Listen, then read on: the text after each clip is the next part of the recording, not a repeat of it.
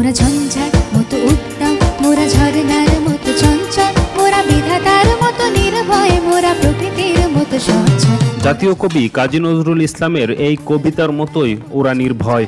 তারা জানে কীভাবে এগিয়ে যেতে হয়। সমাজের রক্তচক্ষু উপেক্ষা করে শত কূটোক্তি সহ্য করে, আজ তারা সফলতার দ্বার প্রান্তে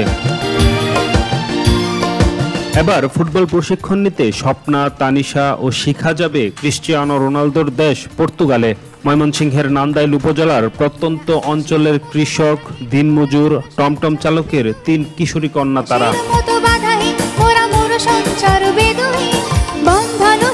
সম্প্রতি বঙ্গমাতা নারী ফুটবল দলের সেরা চল্লিশ ফুটবলারকে নিয়ে বিকেএসপিতে দুই মাসের প্রশিক্ষণ অনুষ্ঠিত হয়।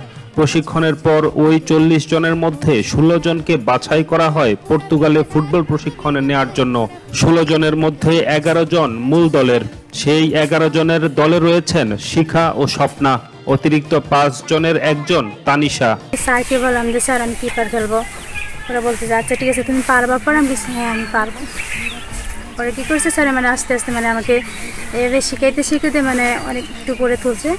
তারপরে ইন্টার স্কুলে গেলাম। ইন্টার স্কুলে গিয়ে তারপরে নান্দল যাই প্রতিদিন মানে রাস্তা দিয়ে তো অনেক আশি টাকা মানে ভাড়া যায় আমাদের। প্রতিদিন যাওয়া আসা মানে অনেক কষ্ট হতো। মাঝে মাঝে দিতে পারতো না, টাকার জন্য যাইতে পারতাম না, বাড়িতে প্র্যাকটিস করতাম। এভাবে যাওয়া আসা করতো। আবার আব্বা কাছে তো প্রতিদিন মানে আশি টাকা থাকতো না। অনেকের কাছে দাঁড় করে নিতাম, নিয়ে তারপরে যাইতাম। এভাবে মানে এই পর্যায়ে মানে গেছি বিকেএসপিতে চল্লিশ জন একটা ক্যাম্পিং হয়। ওখান থেকে পর্তুগালে যাওয়ার জন্য বাচ্চা হয়েছে অনেক খুশি হয়েছি। পাড়ার সবাই আগে মানে অনেক বাজে কমেন্ট করতো। এখন সবাই সাপোর্ট দিচ্ছে যে বাইরে পর্তুগালে যাচ্ছি ওখান থেকে। আমার ইচ্ছা ন্যাশনাল টিমে খেলার লাল সবুজের জার্সি পরে খেলব। বাংলাদেশের জন্য যেন কিছু করতে পারি পর্তুগাল থেকে আসি টাকা পয়সার জন্য প্র্যাকটিস করতে পারতাম না প্র্যাকটিসের পর খাবার খাইতে পারতাম না। তো ওগুলো আমার জন্য আমার আব্বু, আমার নানু অনেক কষ্ট করে টাকা দিছে। প্র্যাকটিসে গেছি, খাবার খাইছি। তো এখন পর্তুগালে যাব দুই মাস প্রশিক্ষণের জন্য। তো ওগুলো শুনে আমার আব্বু আমার নানু অনেক খুশি আমি নিজেও অনেক খুশি। আমাদের গ্রামের মানুষেরাও অনেক খুশি। দুহাজার উনিশ সালে বঙ্গমাতা ফজিলাতুন্নেসা মুজিব গোল্ড কাপ টুর্নামেন্টে চ্যাম্পিয়ন হয় নান্দাইল উপজেলার পাঁচরুখি সরকারি প্রাথমিক বিদ্যালয়। সেই চ্যাম্পিয়ন দলের সদস্য ছিল এই তিন কিশোরী। তিনজন ছাত্রী উন্নত প্রশিক্ষণের অংশগ্রহণ অংশগ্রহণের সুযোগ পাই আমি অত্যন্ত আনন্দিত গর্বিত। ওরা উন্নত প্রশিক্ষণ শেষে বাংলাদেশে এসে জাতীয় দলে মানে খেলবে এবং দেশের মুখ উজ্জ্বল করবে।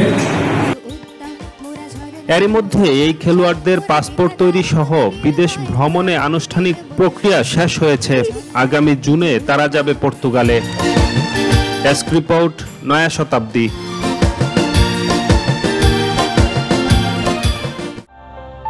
ভয় সত্য জয় সত্য।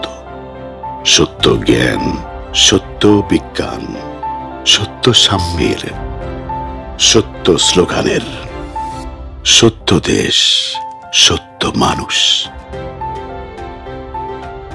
সবই সত্য, সবাই সত্য। এত সব সত্যের ভেতরের সত্যটাও আমরা জানতে চাই, জানাতে চাই।